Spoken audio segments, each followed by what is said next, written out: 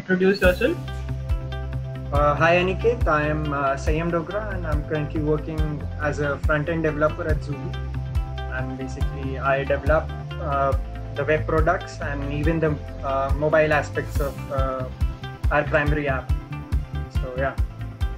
Okay, Sanyam, that's great. Can you uh, can you tell more about your experience with Zubi?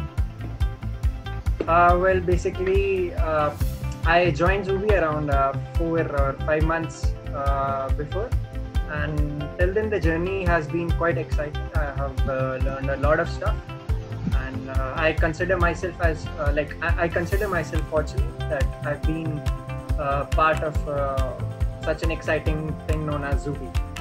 Yeah. Okay, so that's great, Sanyam.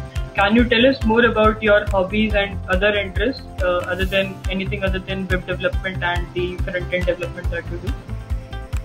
Uh, apart from uh, basically, well, to be honest, uh, like a life of coder, uh, like when the sun rises and when the sun sets, it primarily revolves around it, like uh, watching the screen in front of his laptop.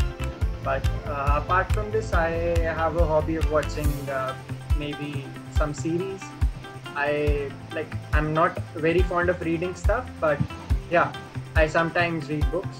And, uh, music is something that I'm uh, constantly uh, in connect with. So yeah. Yeah. So Sanyam, what is your favorite book? Uh, well, I don't have any favorites, but I'll uh, name one that I'm currently reading, and it's uh, basically the General Theory of Relativity by uh, Albert Einstein. Okay, that's great, Sanyam. It was really nice talking to you. Thank you so much. Thank you.